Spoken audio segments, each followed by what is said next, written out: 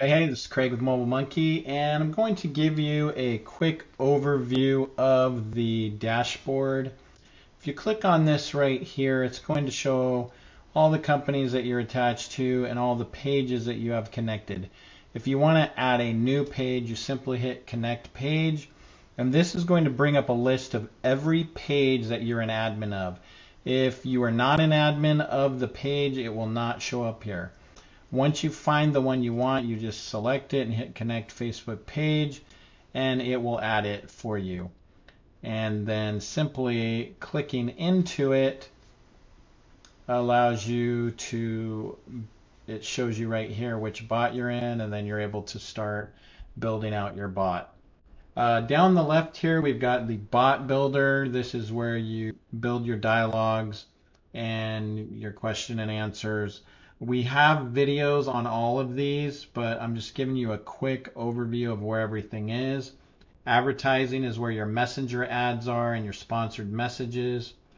Marketing automation is where your chat blaster is, your drip campaigns, your RSS blaster, and your connections if you want to connect to external uh, CRMs and Zapier. Uh, lead magnets, you've got your comment guard, your chat widget, your share links, your HTML elements, and your landing pages. Scan codes are going away. Facebook is getting rid of those.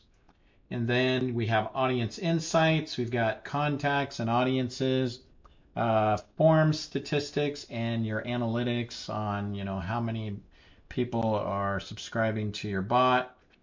Then we've got templates. Here's the template library. You can choose from a number of different templates.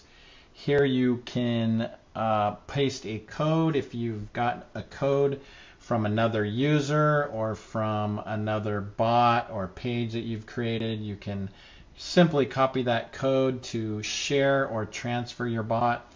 And this template feature, you can create your own templates to then share or copy existing templates to then share. These two are both pro features.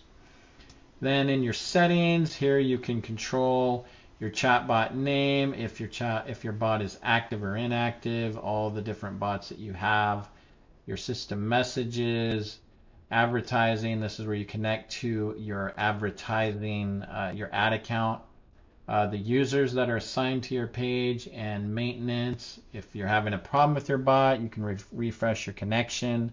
Uh, you can disconnect your page if you need to, or you can transfer it. Uh, here's our help docs. Here's our community, which is our Facebook group. And then just here's your account information. So it's pretty straightforward. That's how you um, access all the different features. And again, if you want to know about any features inside of these, you can go to this little question mark here, and that will take you to a page with a video and show you everything that you need to know. All right, thanks. If you have any questions, you can send us an email, support at mobilemonkey.com, or send a message in the Facebook group, and we'll get back to you. Thanks a lot.